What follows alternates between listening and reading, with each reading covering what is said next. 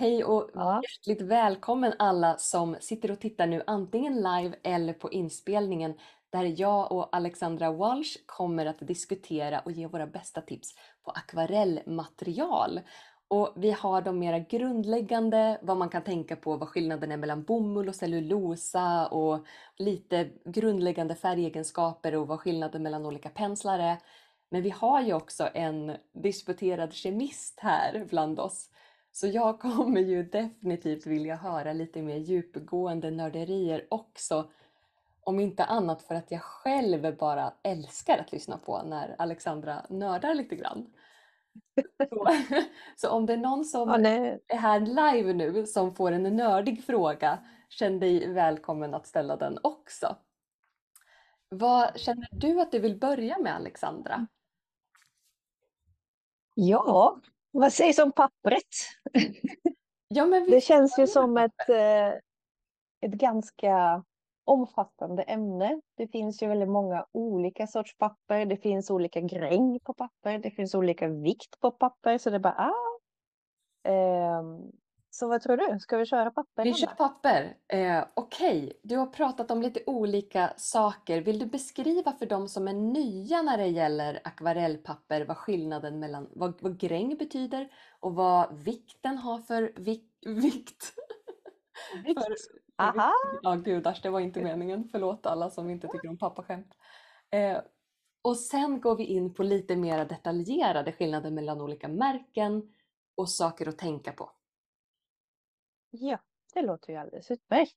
Men eh, vi kan börja med det som brukar förvirra de flesta tycker jag, och det är det här med gräng. Eh, och gräng betyder i princip hur hårt pappret har blivit pressad under tillverkningsprocessen. Är den grov, som det heter, då betyder den har inte pressats någonting alls i princip. Den är väldigt svampig och god sådär. Väldigt så luftig. Ehm, cold pressed, kallpressad eller fin gräng som det ibland heter också. Den är ju istället pressad, men ja, med yllefiltar oftast eller något liknande. Eh, och så har vi den tredje typen av gräng och det är hot pressed eller satingräng. Eh, och den är ju liksom det, är det här släta akvarellpappret. Och som namnet eh, avslöjar så pressas den med värme. Så man har också en liksom, uppvärmningsprocess i det hela och det gör då att man får ett väldigt slät papper. Så det är lite översiktligt. Och det här är ju det vanligaste att de här olika grängerna, det vanligaste är att de är på 100% bomullspapper, det vill säga de här professionella papperna. Jag har aldrig sett ett cellulosapapper som har tre olika gränger. Det kanske finns, men det är inte det som brukar vara, utan det här är för 100% bomull. Och vad är fördelarna med 100% bomull och varför använder just akvarellkonstnärer så himla himla gärna 100% bomull och det är så många som säger 100% bomull är det enda som duger, vilket det ju givetvis inte är. Men det är många som får det att funka väldigt väl med den akvarellteknik som de vill ha. Eh, ja, alltså bomullspapper är lite bättre, eller inte lite, mycket bättre än cellulosa på att absorbera vatten. Och också tåla mycket vatten jämfört med cellulosapapper. Så ju flödigare man gillar jobba, ju längre man gillar jobba, eh, desto bättre är det med bomullspapper. Men jag är lite sån, det vet ju du Hanna, jag är lite av en eh, eh, jag tycker det här på bomullspapper är lite snobberi i akvarellvärlden. Men det man inte kan förneka är att papperets kvalitet har direkt påverkan på dina resultat. Så, och vissa tekniker, de funkar helt enkelt inte på vissa papper. Visst. Så är det. Så att lavera på en cellulosapapper, det är ett helvete. Men det Och funkar vad betyder lavera för de som är nya till det ordet? Lavera? Just det. Det är att få den här jämna, fina, släta lagret med färg. Den här perfekta ytan. Det finns ingen färgvariation eller något sånt. Eh, medan tekniken som jag gillar att jobba med, så kallad granulationsteknik, det är när det blir så sandigt och konigt och krackelerat. Det blir ju wow på cellulosapapper. Så det är liksom en sån här avvägning. Ja, Och hur är det med dig Hanna? För du gillar ju att jobba ganska, du gillar väldigt, att det ska bli väldigt mjukt och fina övergångar. Så vad, hur, vad spelar papper för roll för dig? För, För att få mig- det här? För mig spelar pappret jätte, jätte, jättestor roll. Och jag har också märkt att om det är cellulosa, då kan det funka med snabba skisser som är i princip i ett lager. Men jag har in, hittills inte hittat något 100% cellulosapapper eller 100% bambupapper till exempel. Nej, jag tror inte den är 100, den är också mest cellulosa. Men ett 100%, att det- är 0% bomull där man kan måla i väldigt många tunna, försiktiga lager. Utan jag känner att de mojsar upp pigmenten väldigt, väldigt lätt på cellulosapapper. Så lite tyvärr så känner jag 50% bomull är mitt minimum som jag har hittat idag. Tack och lov så har jag hittat ett papper som har 50% bomull. Tyvärr så säljs inte det i Sverige. Jag beställer det från Danmark så det är dyr frakt. Men det funkar för vissa av mina tekniker för det är ganska likt 100% grov gräng i hur det beter sig. Det är väldigt fluffigt och det absorberar ganska mycket vatten. Och det jag behöver med min, som jag kallar kontrollerad fuktigt på fuktigt teknik eller kontrollerad vått i vått teknik, det är att jag behöver veta hur långt pigmenten åker. Och jag behöver kunna veta i förväg hur det sprider sig så att jag kan anpassa min mjuk, så att det blir väldigt mjuka övergångar just. Och då Mm. är jag jättekänslig. Till exempel så älskade jag Saunders Waterford före sommaren 2021. Men sen under sommaren 2021 så bytte de någonting, någon liten detalj i sin tillverkningsprocess. Och sen dess har inte jag kunnat jobba med Saunders Waterford Mm. Och få samma resultat som jag gillade innan. Men det är väldigt få personer som märker de här små skillnaderna. Det beror helt på vilken teknik och vad man är ute efter. Jag är till exempel inte alls lika nördig på exakt vilket märke jag köper ultramarin från. Det bryr, bryr jag mig inte om, medan vissa är ganska noggranna med vilket märke de köper sin ultramarin ifrån, till exempel. Mm. Så olika tekniker gillar man, kommer man gilla olika saker och jag har blivit sådär wow vad lätt det var att måla på grov gräng. För det blir inte en massa blomningar. Det blir inte blomningar alls lika lätt som på kallpressat och definitivt inte alls eh, som på varmpressat. Så varmpressat eller hotpressed eller satin, det finns många namn. Det tycker jag är omöjligt att jobba med min teknik på. För färgen älskar att skapa busigheter på just det släta eh, ja, isbanepappret liksom. Där det bara Mm. händer en massa sprakande saker som ju du älskar Alexandra. Ja, och vet du varför det händer på hot press men inte på till exempel eh, grov eller så? Nej, Ehm, jo, det ska jag förklara då. För jag tycker sånt är så roligt. Så vi sa ju precis att de här grängen betyder hur hårt de här pressade papper, hur hårt pressade papperna är och om det var en sån värme under pressningsprocessen eller inte.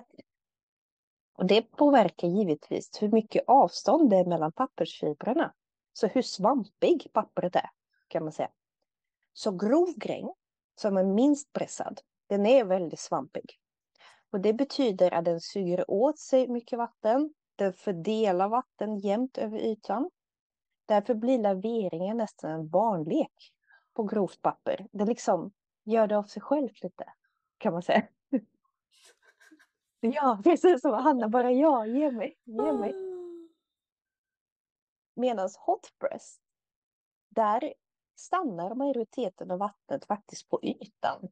Den går inte in så bra. Den har inte lika bra absorbansegenskaper som grovpapper har. Och det gör då att eh, det är precis det som händer, det du beskriver. Att det känns som att färgen skvalpar lite på ytan och bara ah, den går inte att kontrollera och sådär. Eh, och av den anledningen så är hot press till exempel sådär bra för väldigt flödiga, väldigt våta tekniker. Det är också ganska svårt, precis som för cellulosapapper faktiskt, att få till jämn och snygg lavering på en hot pressed papper.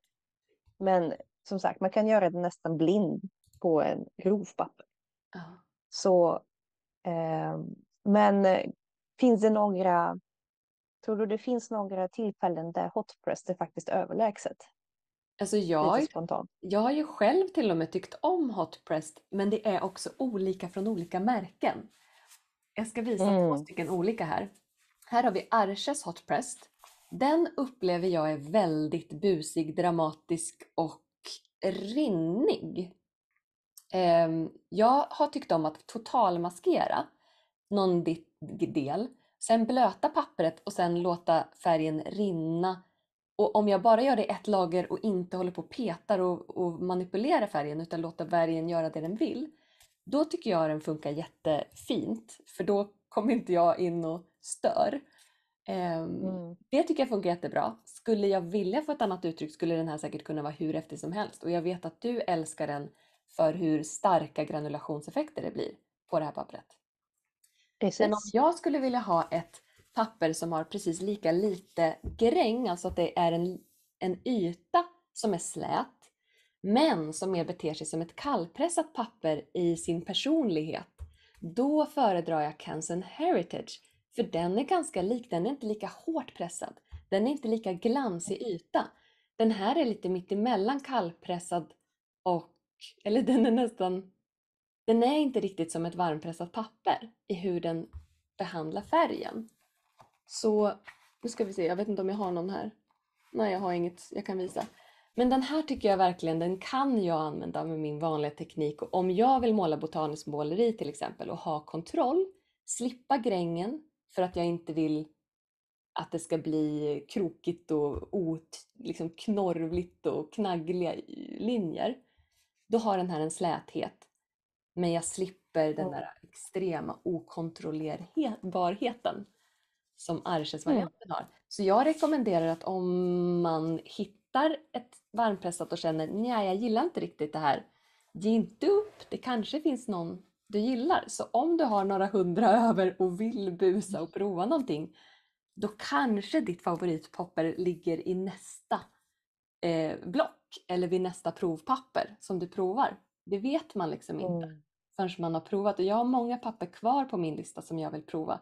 Jag är jättenyfiken på Lana Aquarell, alltså Lana märket. För de vet jag har det här lite mera grovgrängaktiga, att det inte är så hård yta utan att det är lite fluffigare. Det är jag jättenyfiken Mm. på. Så känn inte att, att om du inte har hittat ditt papper än, det kan antingen vara tekniken och pappret inte matchar, eller så kan det vara att eh, din teknik faktiskt kommer älska ett annat papper eller trivas mycket bättre med ett annat papper. Ja, och på tal om hundralappar och papper. Papper är ju fruktansvärt dyrt. Särskilt om man går, eh, vad heter det, om man tar bomull. Så, och det är någonting då som det blir stopp för många för att man kanske vill öva och så, åh, jag vill inte ta det här fina pappret, jag vill öva på billigt papper eh, och sådär. Eh, och då liksom, vad är dina tankar kring det, Hanna? Målar du först på ett billigare papper och sen kör på det här dyrare, eller hur gör du? Så som jag gör är att jag har hittat det här danska och jag fick en fråga i chatten vad det heter. Och anledningen till att jag hittade det här var för att Penstore sålde det här så jag hann lära känna det. Jag visste att jag ville köpa stora mängder. Därför kunde jag beställa från Danmark och inte bry mig om att det var en stor fraktkostnad för jag köpte hejdlöst många papper. Och jag vet vilken typ av akvareller den fungerar för och vilken den inte fungerar för. Så jag vet vad jag har att förvänta mig. Den har 50% bomull, den heter Iris från märket Viking. 310 gram. Eh, och då köper jag stora berserkerblock som det heter så här 50-75. Liksom jättemånga, alltså A3. Den går inte upp större än A3. Så det är ju mitt billigpapper. Men annars Mm. så har jag lärt mig att om jag vill träna på bildskapande så behöver jag inte göra det med penseln i hand hela tiden. Jag kan till exempel träna färgblandningar om jag vill träna på just vilka kulörer det blir. Det kan jag göra på nästan vilket papper som helst. Jag kan göra det på ett mixed media-papper, ett cellulosapapper. Och om jag vill träna på att skapa former och hitta former och, och återskapa det jag ser, då kan jag använda blyerts eller grafitpulver och då kan jag träna på det. Och om jag vill träna på vilka färger som funkar ungefär och göra en snabb slarvig liten skiss, då kan jag också göra det på vilket akvarellpapper som helst och få en slags känsla för vad jag vill åt. Oavsett vilket papper Mm. det är. Men om jag vill träna på just min akvarellteknik och få till just mitt akvarelluttryck och få till just det där specifika som jag är ute efter som bara har att göra med akvarelltekniken. Då kommer jag bara kunna träna på mitt papper och få till det på papper som stöttar mig i den tekniken. Annars kommer jag bli frustrerad. Men däremot kan jag öva på andra relaterade färdigheter på vilket papper som helst. Eller om jag Mm. till exempel vill prova alltihopa med färgerna men inte behöva få till snygga övergångar. Ja, men då kan jag jobba på ett cellulosapapper. Så, så Mm. känner jag inför papper och Mm. bildskapande och akvarell. Det är jättespännande för här har du och jag ganska olika liksom, synsätt på det. Ah, För för mig är det, jag är mer sån här att, och det är något jag också förespråkar, att öva på det papper du avser att måla på. Ja. Varför det? För att, men det kan ha att göra med för att jag har nördat mig in i det så otroligt mycket att jag blev lite för snäv.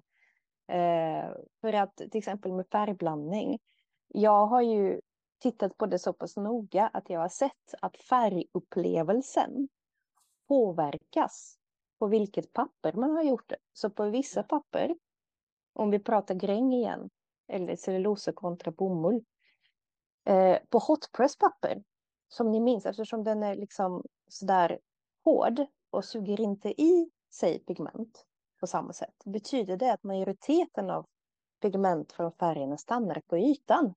Så färg på ett sådant papper känns väldigt levande, nästan som från tuben. Den är liksom så här krispigt saftig, precis som det ska vara. Medan samma sak på ett grovt papper som suger med sig vatten och därmed också för med sig pigment djupare in. Där kan färgupplevelsen vara lite stummare. Alltså det, det känns inte lika vibrant, eller hur man ska säga. Och av den anledningen har jag då börjat säga att nej men, det är nog bäst att öva på allt du tänker dig, både ja. eh, eh, vad heter det? färgblandning och tekniker och så vidare på det pappret du avser att måla. Och jag Med det tycker sagt det är då. jätteklokt om du kommer göra det. Jag, har, jag tycker att det är Ja. jättebra att vi svarar de här olika svaren för att sanningen ligger ju så mycket djupare än vad någon av oss hinner svara idag. Och jag tycker Ja, verkligen visst. att det är så här, det som får det att funka, det som känns som att det klickar i dig, att ja, det här öppnar dörrar för mig. Då, då kommer ju det hjälpa dig. Oavsett vilken väg det är. För det som jag har känt själv, det är att om jag bara jobbar på Arches, då skapar inte jag så mycket som jag skulle vilja. Sen har jag ju hittat det här pappret som jag känner är tillräckligt bra, som är 50% bomull. Så att jag har, Mm. jag jobbar faktiskt aldrig på 100% cellulosapapper själv. Jag har liksom aldrig Mm. riktigt stått ut med det. Ehm, men om det är någon som gillar det så känner jag go for it liksom. Ja, exakt. Så jag tror det viktigaste meddelandet både du och jag har, Hanna, att det finns jävligt många olika papper. Alla beter sig olika.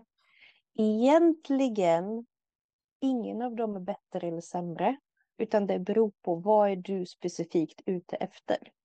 Eh, och mitt tips är ju i så fall att tyvärr spendera pengar. Testa så många olika papper som möjligt och testköra dem liksom. Testa blanda färg på dem, testa de här teknikerna som du gillar på dem, testa skissa lite snabbt och sen byta papper och göra om de här processerna och se vad hamnar jag? Vad tycker jag liksom funkar för mig? Um, och det är möjligt att antingen hittar du det där perfekta grejen, det här gillar jag. Eller så blir du mer som mig, en allätare. Det är liksom lite mer, ja ja, idag känner jag för den här texturen på min granulation, då väljer jag det här pappret. det är liksom Visst. på den nivån. Vi har en Ehm. fråga från Ann-Sofie som är bästa underlag att limma upp papper på. Den är ju pappersrelaterad. Är det plywood? Finns det något annat? Vad är dina erfarenheter? Och brukar du limma upp papper, Alexandra, när du målar? Ibland gör jag det, ja. Precis. Ehm, särskilt när jag eh, vill valla, alltså göra sådana här rörelser och vill göra stora rörelser. För att ibland vill jag bara vicka på pappret lokalt och då limmar jag inte upp. Men ibland vill jag ha det här nästan vaskar, äh, guldvaskar. Och du vet att det blir platt Mm. alltihopa, att du kan förutse att Ja. det är några bucklor. Precis. Det är också ett fördel. Personligen har jag aldrig brytt mig om det så mycket för att jag kan alltid platta i efterhand. Mm. Men ja, jag spänner upp och för mig det har varit eh, MDF-skivor, plywood. Ja. Eh, men, och det är mest det, jag haft tillgång till. Men resonerar man liksom ur materialperspektiv så är det allra bästa att limma på sånt som inte är så bra på att absorbera vatten.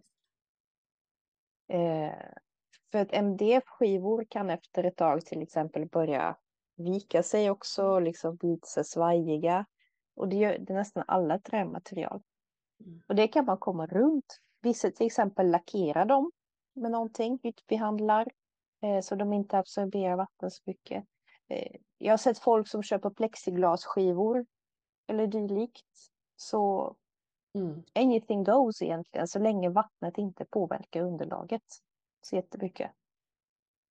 Vad är din erfarenhet? Spänner du upp papper? Jag gjorde det ganska mycket mer förut. Sen har jag blivit för lat. Och jag har märkt att om jag spänner upp så känner jag att jag spenderat så himla mycket tid så nu måste det bli bra. Vilket hindrar mig.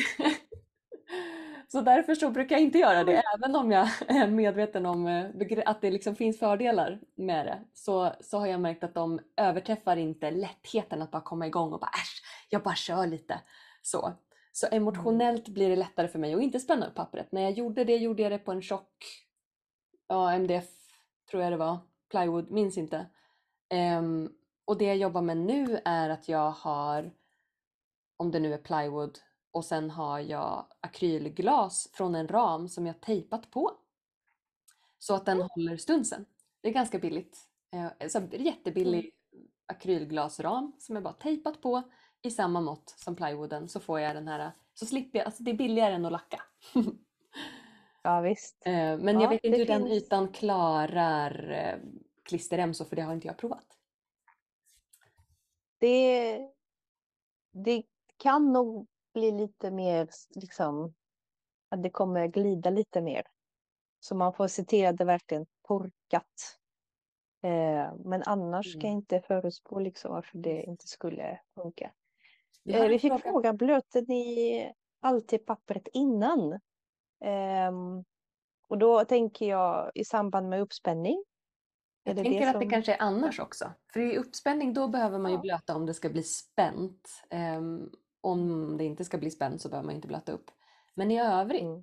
blöter du, tycker du om att blöta upp pappret för, på grund av hur det påverkar Mm.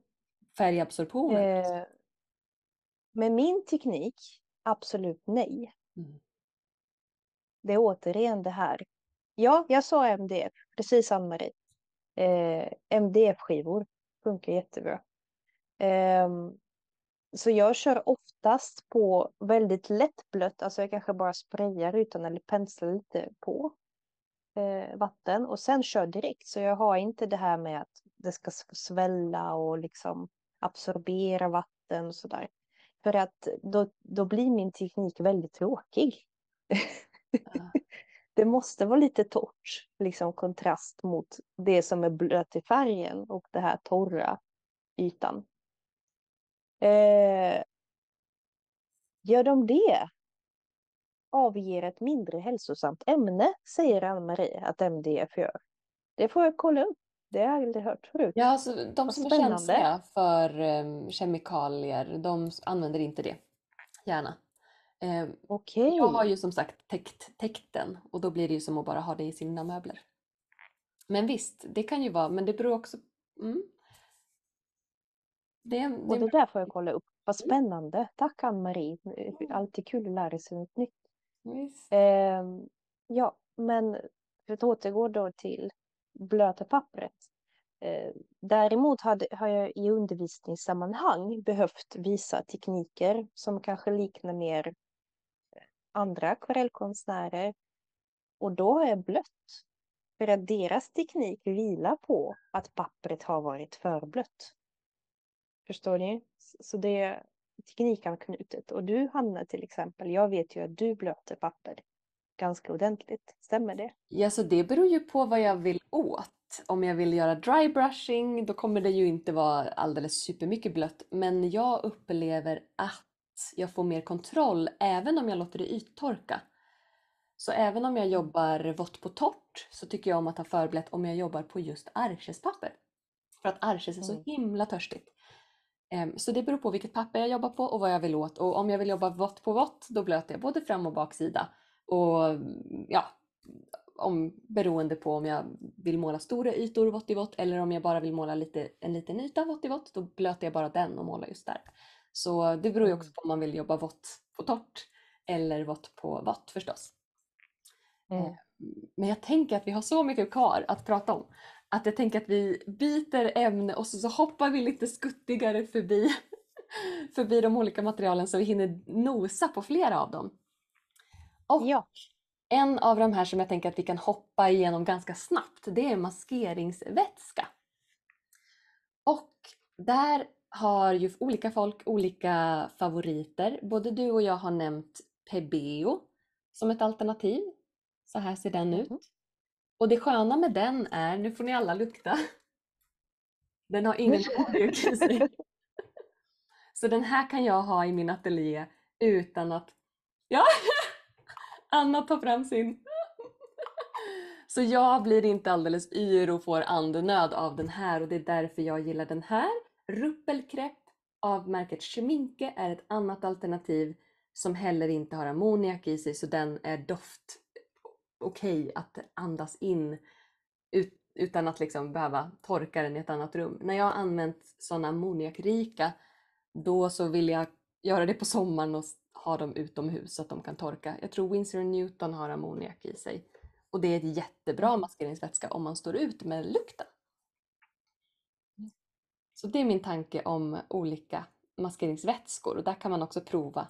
De här som har ammoniak, de är jätteroliga att ta bort för då blir det värsta då kan man dra av stora sjok så det är underbart medan den här måste man gnida bort varenda liten millimeter. Mm. Har du något att Så det tillägga finns skillnad. om olika maskeringsvätskor? Ja, jag vill tillägga ett eh, lifehack faktiskt. Eh, och det är att man kan använda Cascos textillim istället för maskeringsvätska. Har jag hört väldigt bra. Jag har testat, jag tycker det funkar också alldeles utmärkt och det är ett mycket billigare alternativ än maskeringsvätska. Ehm, jag tycker lite att eh, överlag för mig hade det varit svårt att hitta en maskeringsväska som funkar väldigt bra. PBO är den jag tycker liksom är överlägsen för det mesta. Den går lätt att ta bort, den luktar inte, den är lätt att applicera. Ehm, så jag har gått över till Casco Lim. Eh, delvis i alla fall. Och det funkar jättebra. Ehm, på tal om applicering tänkte jag ge ett tips. Eh, för att doppar man penslar i maskeringsvätska så blir det förstört förstås. Det blir väldigt svårt att få bort. Ehm, så jag har börjat använda så kallade gummipenslar. Så det är penslar med en sån här gummi, ja precis sån som Hanna har. Sån ja. Eh, och de är lätta att rengöra och man kan göra väldigt fina små detaljer. Jag bara gnugga bort, man bara gnuggar bort det jätte, jättelätt från den. Och de finns i olika, eh, vad heter det, Former? Eller? Så formerna ja, precis. Den du har är liksom lite tillplattad, Ja. är det så? Ja, precis. Och jag har en, ja, jag har en som är liksom så här jättespetsig till Oh, exempel. det ska jag prova. Ja, så, så, så det finns flera olika av de här. Och eh, de kostar inte särskilt mycket och jag tror jag har till och med sett dem som ett, ehm, ehm, om man vill verkligen spara pengar. Så istället för att gå konstnärsbutik, sök på penslar för typ nageldekoration. Smart. För det är exakt sådana grejer med sån här liten topp. Ja, och de ska man ju verkligen kunna göra detaljerade saker och det är också akrylplastig eh, material som man måste kunna ska, ta bort. exakt.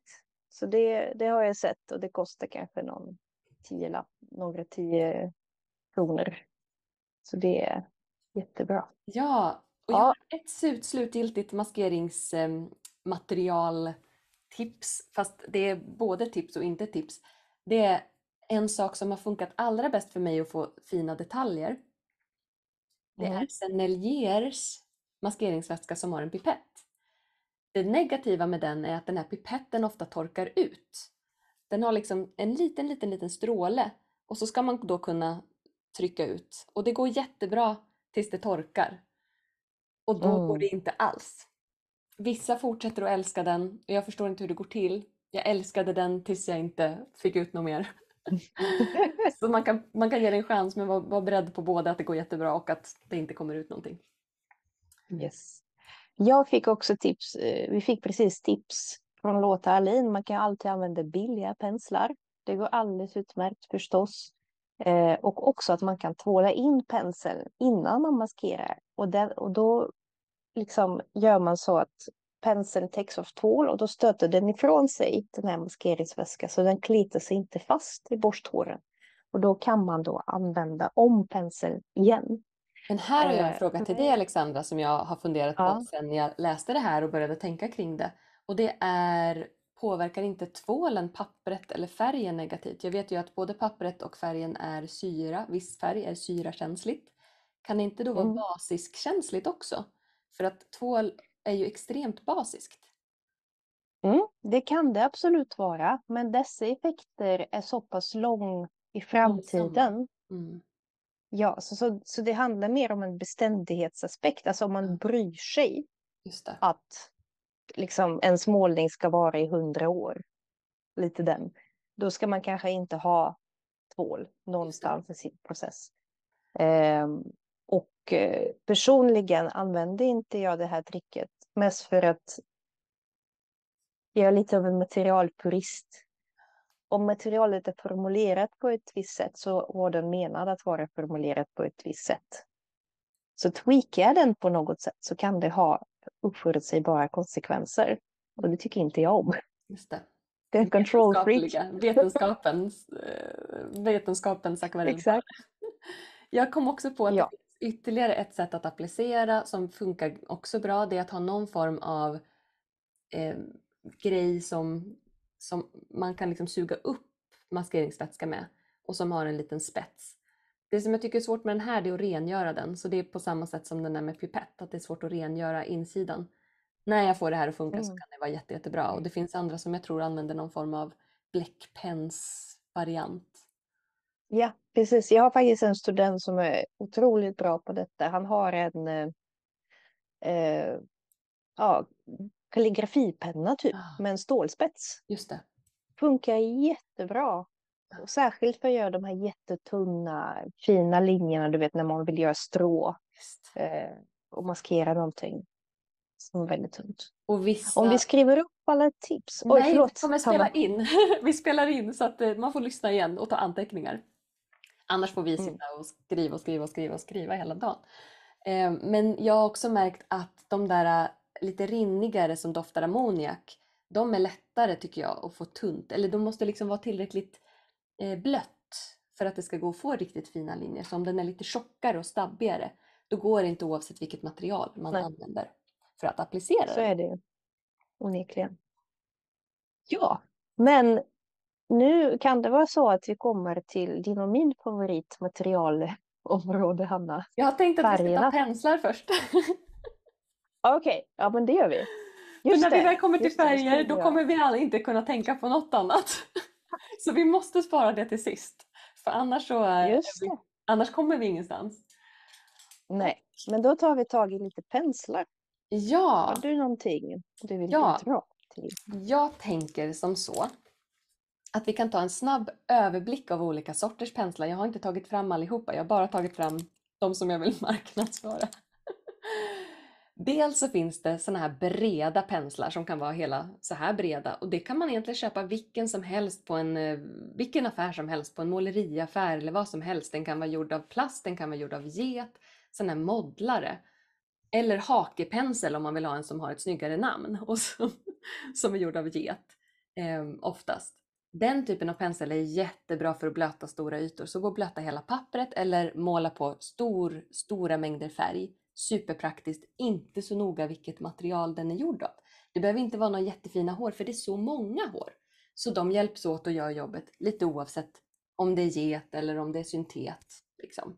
Det behöver absolut inte vara ekorr eller mårdhår när det är så stora blask, blaskig blaskpenslar.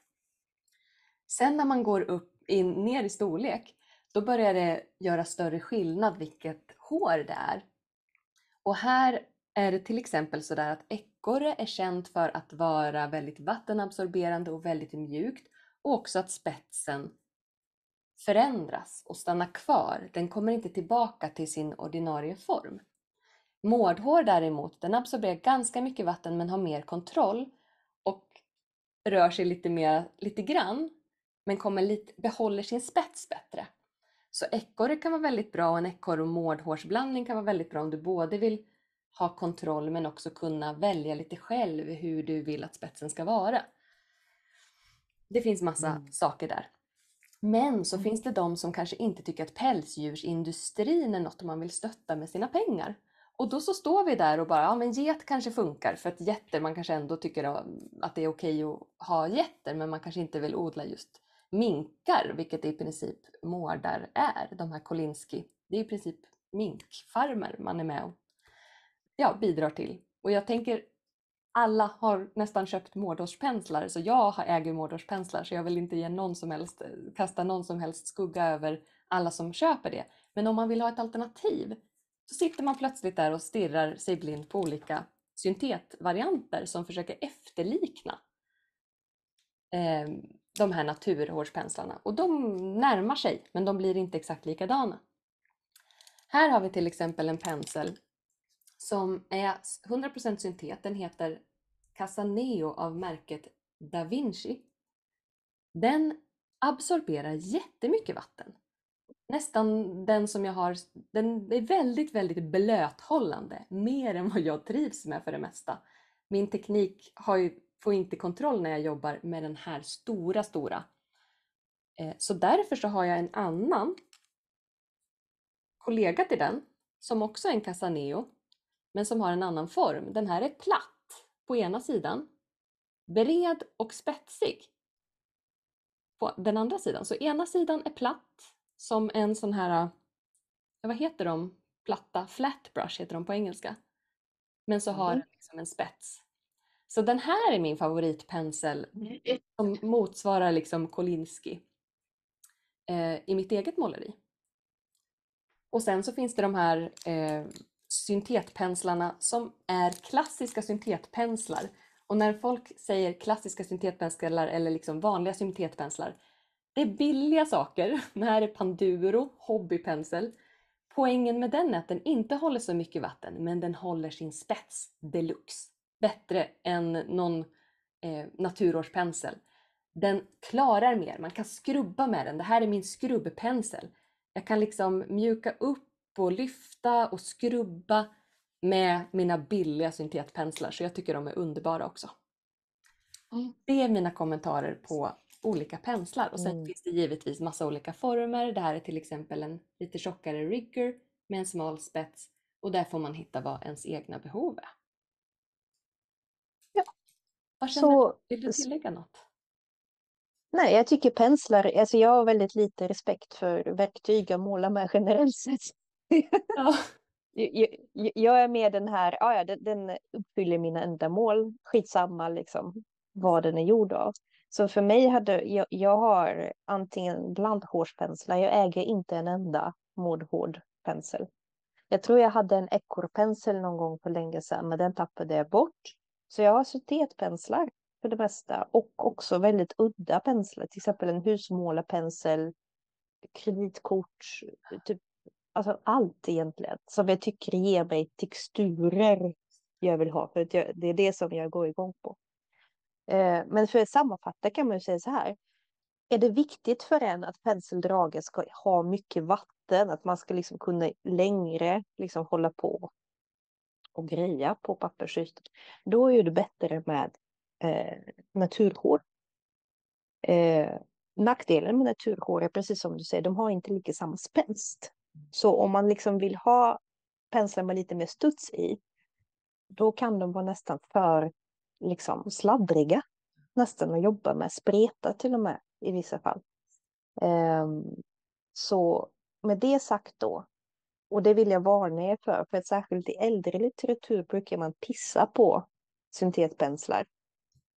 Men nu har man kommit så långt med teknologin, precis som, eh, som Hanna illustrerade med Casio-penslar, att det finns jättebra syntetpenslar på marknaden som imiterar hår nästan till 100 procent bra. Så jag tycker att det här med man kan spara pengar ganska Köpa syntet. Mm. Eh, men vi fick ett spännande fråga. Och det är det här att, att Victoria köpte en, eh, just det, Pia först kommer. Jag fick med en tvål till en mårdhårdspensel som jag köpte för länge sedan. Ska jag, man använda den tvålen emellanåt? Varför? Um, jag vet inte svaret helt säkert, men jag vill göra en kvalitativ gissning på det. Och det är ju nämligen så här att naturhår är ju lite som vårhår. Mm, eller hur? Eh, och vad är viktigt för vårt hår för att den ska vara fin och glansig? Jo, för att den ska vara återfuktad. Och också att det ska vara fetter i det. Mm. Som är liksom bra och smörja in det kan man säga. Så eh, om, man, om du tänker dig att du tvättar håret bara med vatten hela tiden. Det kommer liksom bli det här till slut. Och så liksom, det går inte att borsta ut, det bara kletar och spretar och liksom bara hjälp. Och det är exakt samma sak som kan hända med naturhårpenslar. Därför finns det alltså ett eh, resonemang i att det kanske är bra att schamponera dem lite. Då och, och där då. tänker jag som kom just när jag vet hur mitt eget hår funkar och det är att jag undrar varför det inte både finns ett schampo och en conditioner. Det kan jag tycka borde finnas egentligen för det är så som mitt hår verkligen fungerar. Att den behöver både rengöras och sen också återfuktas. Så där är jag lite sådär, hmm, jag skulle vilja kolla pH-balansen, jag skulle vilja kolla ingredienserna um, och se att, ja. den, att den är återfuktande snarare än uttorkande. Så för säkerhets skull skulle jag nog snarare låta bli. Men, eller i alla fall vara varsam och, och se. Och liksom mm. lägga märke till själv vad som händer.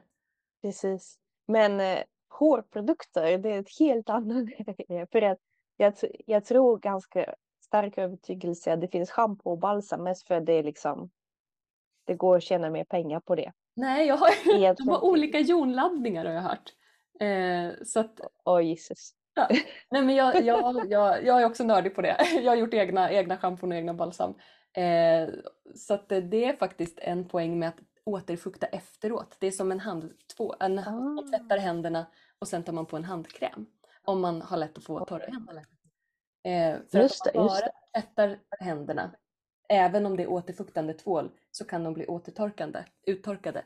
Men om man sen tar på en mm. handkräm så låser det in och skyddar huden mot uttorkning. Så det är en mm. återfuktande behandling. Sen så eh, ja, funkar vissa balsam bättre än andra. Eh, mm. Så det är min, min är det. Men det har ingenting med akvarellmaterial att göra. Eh, Nej, men det var Victoria kul. skrev att hennes sämsta pensel var en Kolinsky. Är det måndagsexemplar eller blir de spretiga slitna snabbare? Och då skulle jag säga att det kan vara både och. Det kan vara ett måndagsexemplar. Sen är det inte så att alla Kolinsky är av samma kvalitet. Jag har köpt dåliga Kolinsky som borde vara bra. Men jag har också köpt dåliga Kolinsky som borde vara dåliga men som var bra. um, så många faktorer ja. spelar in. Ja, så eh, penselteknologin om man ska säga det så. Det handlar inte bara om vad den är gjord av men också hur den är bunden, hur håren har blivit utvalda. Att eh, de här riktigt fina penslar som kostar tusentals kronor.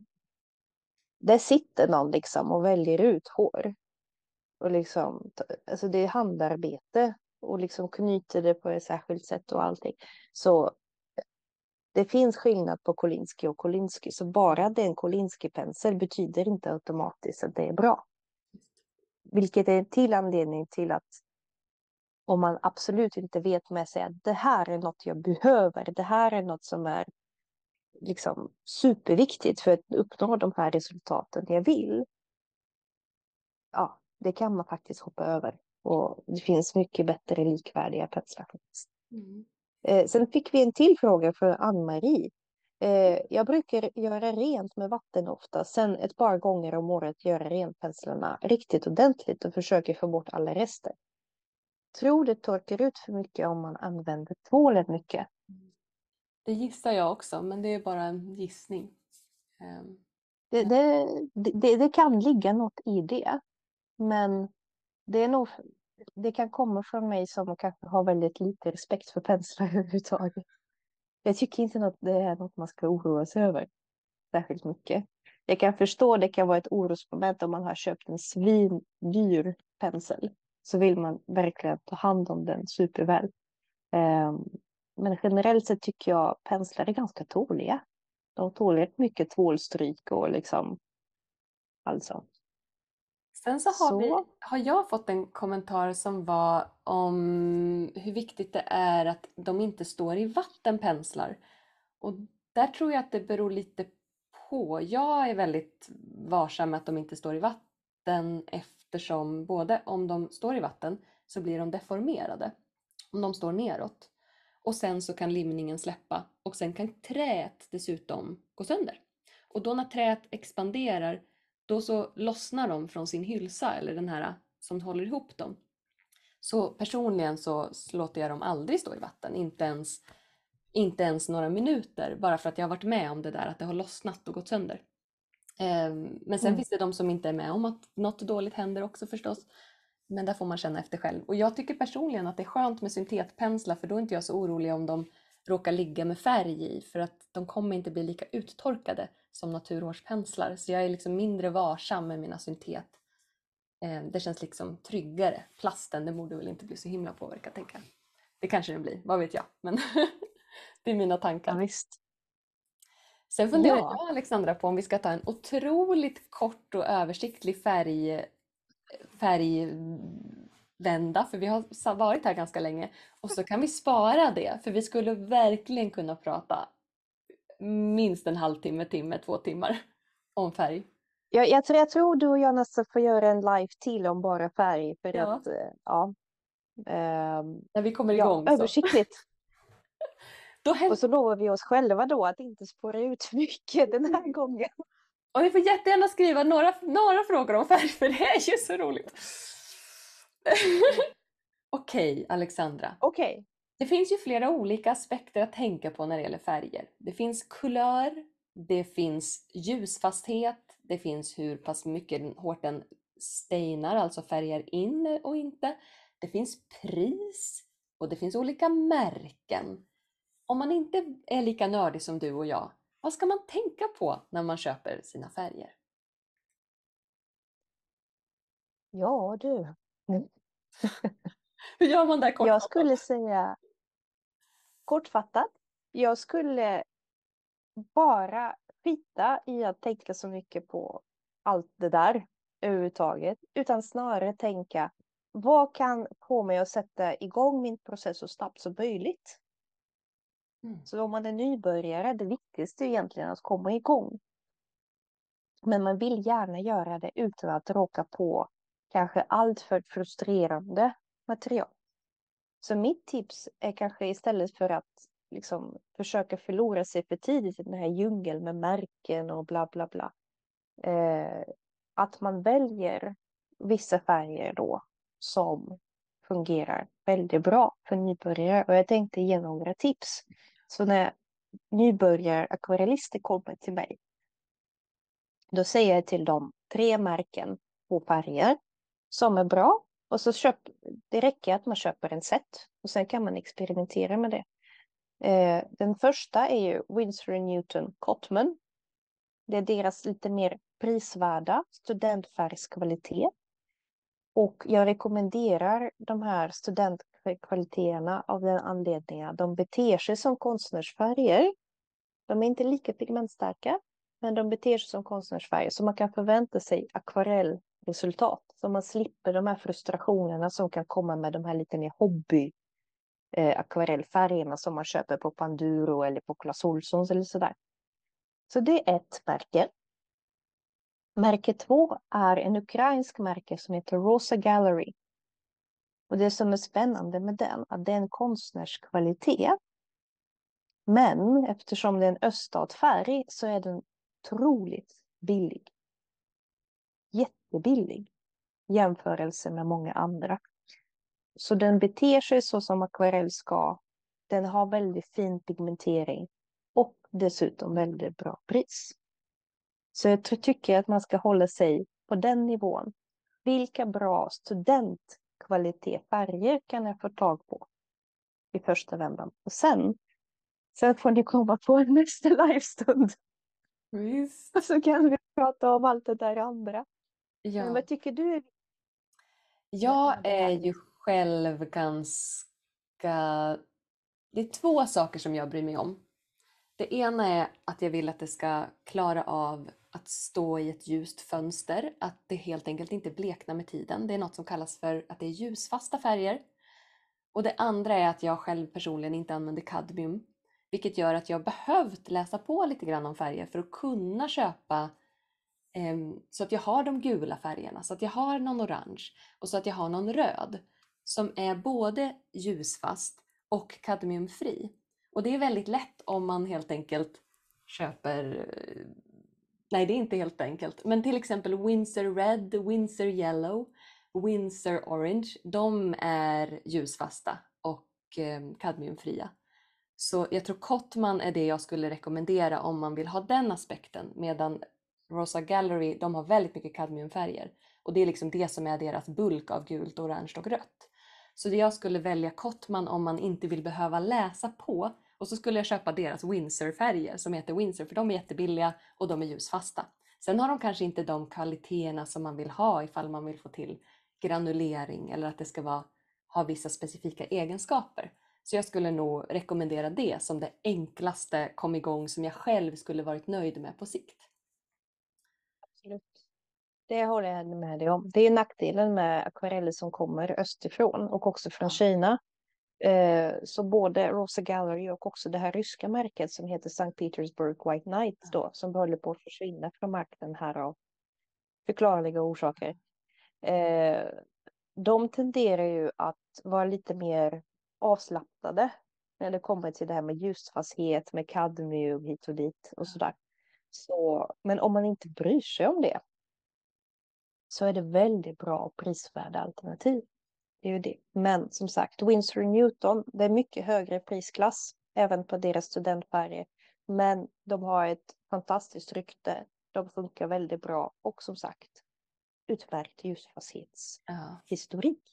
Och jag funderar på att samla ihop så att man kan köpa från de här billiga märkena och veta att det är ljusfast. Så det är, det är något som jag har på min att göra-lista någon gång. Så att man inte ska behöva ta reda på de här sakerna själv. Så den informationen den kommer eh, och det är bara att fråga om du som tittar på det här är sådär, är den, vilken gul? Då kan du skriva till mig så kan jag säga den här. Den är ljusfast och kadmiumfri. Ehm, Ja. Du kan också höra av dig till mig och kommer ni på nästa live då tänker jag faktiskt dela med er tips vart man kan kolla upp sånt ja. själv på ett enkelt sätt. Eh, Så det finns resurser på nätet som är väldigt lättillgängliga. Eller hyfsat lättillgängliga. Och en annan tips, om man, har, om man inte bryr sig om att det ska vara billigt, då kan man köpa i princip vilken färg som helst från Daniel Smith. För de har generellt sett ju bra ljusfasthet. Det finns alltid några undantag för att traditionellt sett, förr i tiden, då fanns det bara ett fåtal färger som var riktigt röda till exempel. Och då var det liksom antingen att de inte var ljusfasta eller att de var kadmium och det var det man hade att jobba med.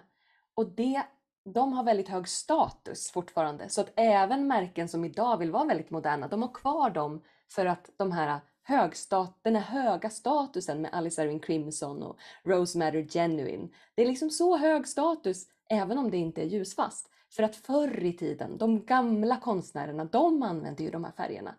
Så det vill man fortsätta göra för att historiens vingslag ropar Alice är en crimson! Alice är en crimson! Och jag är så här, men den är inte ljusfast. Eh, så för mig är inte det modernt och eh, ingenting jag skulle köpa. Men de måste fortsätta sälja dem och det respekterar jag dem för. Men däremot så får man ha lite koll om man eh, vill att det ska Ja. bli bra. Men däremot så har Daniel Smith ingen kadmium. Och så om man bara vill tänka på den grejen, då kan du köpa vad som helst från det märket. Mm. Eh, bara ett snabbt nedslag också att eh, om man ändå älskar kadmiumfärger så Winsor Newton har faktiskt släppt en serie som heter Cadmium Free. Och de är i princip identiska i kulör och inte riktigt samma i beteende, pappret, men det, kan, det, det är ett bra alternativ. För att kulören kan vara faktiskt väldigt svårt att efterlikna. Det är därför många tillverkare fortfarande har kadmiumljus, för de har ganska särskild kulör. Ja, Kanske vissa pigment inte riktigt visst. lever upp till dem.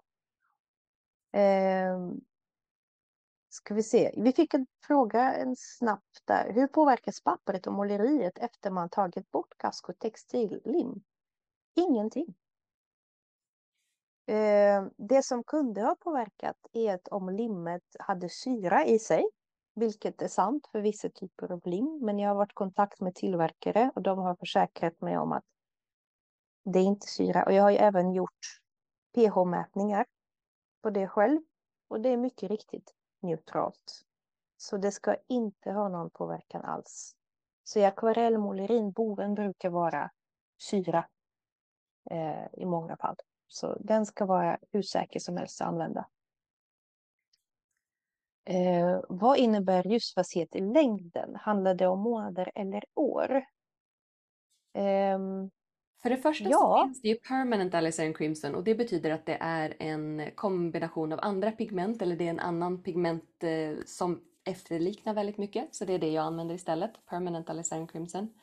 Och det beror på om den står i ett solljus. Så grejen är den att om man säljer ett konstverk, till exempel så köpte vi ett konstverk av en god vän i min familj när jag var barn. Och den började med att vara blå, det var, det var bläck. Eh, den började med att vara blåsvart och sen så blev den inom några år gru, brå, brunare och beigeare och nästan blekt gulbeige mot slutet. Eh, och den stod i ett söderfönster. Eller den stod så att den fick södersol på sig. Och om du skulle sälja ett konstverk som hamnar i ett söderfönster, till exempel i Australien där det är jättesoligt, ja men då kommer det nog vara på månader.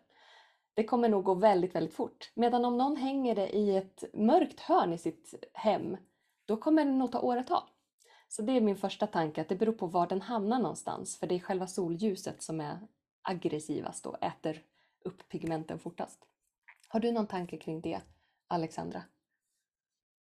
Nej, det är i princip det. Det är belysningsgraden som styr, alltså vart akvarellen är placerad. Eh, men också givetvis vad det är för pigment. För att vissa pigment bläcks fortare, vissa inte. Som sagt, de är ganska få på marknaden just nu, så det är generellt sett ingenting att oroa sig för. Eh, men alizarin just är fortfarande lite känslig och kan blekas på några år i alla fall. Eh, med rätt hängning. Sen är det faktiskt så att blekningen kan påskyndas om det är dessutom fuktigt till en viss del. Men det beror också väldigt på mycket vad är det för pigment och belysningsgrad. Men det, mina vänner, det är nörderi. Och nu har jag ju lovat en av dem som skrev skicka in en fråga i förväg och den handlar om hur teknik och material påverkas och det är en teknikfråga som vi ska pula in i det här. Och det är från en person som vill kunna blanda starka valörer med mjuka tonade övergångar. Där man blandar exakt den färg man vill ha fast på pappret. Och då ska vi se om vi kan knyta ihop det med vårt materialtema Alexandra. Jag ger den till dig. Åh gud. Ehm, ja, Spelar det någon roll vilka färger man har till exempel? Blir det lättare eller svårare beroende på vilken färg du har? absolut. Så ehm, det kan till och med vara så att det spelar roll om man har tubfärg till exempel, om man har haft tillräckligt med färg eller inte. För att jobbar man från kaka kan det vara svårt att jobba upp tillräckligt tjock färg så att man får de här övergångarna snyggt. det kan också spela för roll vad det är för märke på pappret. Eller förlåt, på färgerna. För att olika akvarelltillverkare formulerar akvarellen lite olika och det betyder att akvarellet sprids olika snabbt. Så Daniel Smith till exempel är väldigt kända för det bara exploderar ut sådär. Medan Winsor Newton säger mm, snällt fin. Så det kan absolut påverka. Men även då pappret spelar in. Vi pratade ju lite det här med att grovt papper är bra på att fördela vatten och därmed pigment snyggt och fint till exempel. Ehm, så har du något att bidra?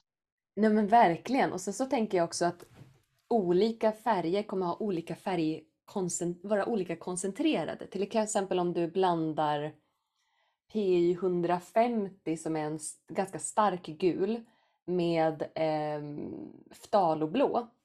Då kommer du kunna använda ganska lite av de båda för att få en relativt stark mix. Och om du använder stark koncentration av båda då kommer det bli en sån här, väldigt starkt. Medan om du jobbar med ultramarin och en rå sienna då kommer du behöva blanda i jättemycket mer mängd. Så du kommer behöva spruta ut mycket större mängd ultramarin och rå sienna för att få samma färg, färgrikedom på pappret när det väl har torkat. För det är inte lika koncentrerad intensitet i färgen. Så om man vill att det ska bli stark färg på pappret, våga vara stark och modig i att förbereda dig på att ha starka färger på pappret. Och sen kan man alltid mojsa ihop de här med en pensel så länge det är fuktigt så kan du liksom flytta lite grann på de här pigmenten. Så om du vill att de ska rinna helt fritt, ja men då krävs det nog öva, öva, öva, öva, öva för att samarbeta och få dem att träda ihop och blanda sig precis som de vill. Men om du jobbar med kontrollerad vått teknik då kan du liksom peta på pigmenten och bara jag vill att du ska vara här, jag vill att du ska vara här. Så, nu blev det som jag vill. Så det beror lite på vad man vill åt och på hur stora ytor man vill att det ska bli av. Men jag tror grunden här är att våga, våga, våga och tips är att öva på ett annat papper så att du först övar på det här och sen gör det på din färdiga målning så att du har tränat upp ditt mod och också din koordination och eh, själva tekniken. Dahl och blå Winsor Newton är win deras Windsor Blue. De kallar det för Windsor Blue. Mm. Ja, nu så tänker jag att vi ska avsluta det här och tack för att ni dök upp på den här eh, spontana lösningen som det blev nu. Och vi kommer att eh, skicka ut den här i gruppen igen så att det går att titta på den fler gånger. Ja, och, och tills nästa live ska vi verkligen se till att ha testkört ja, live. Det ska vi göra. Så att tekniken funkar som det ska. Mm. Eh, så fundera gärna på frågor tills nästa gång då. Vad vill ni att vi ska ta upp härnäst? Det kan vara att vi har inte hunnit prata om färger till exempel, så det kommer vi definitivt göra. Men också om ja, vad vill ni att nästa live ska handla om? Det tycker jag ni får jättegärna kontakta oss om och skriva i kommentarerna eller det är direkt eh, eh, meddelande till mig eller Hanna. Visst. Så. Så får ni ha en jättetrevlig dag idag så ses vi i gruppen och så ses vi nästa gång. Och tack för era tack i chatten. Jättefint att få läsa. Supermysigt. Tack för att du var med. Tack Alexandra för dina insikter. Tack, jag vill nästan gå tillbaka och lyssna och skriva anteckningar själv. Jag med, precis. Jag har inte lika stor koll på penslar till exempel som du. Så eh, går vi, skiljs vi åt och gör våra separata efterforskningar nu då. Ja, superbra. Okej, ha det gott allesammans. Hej! Hej då!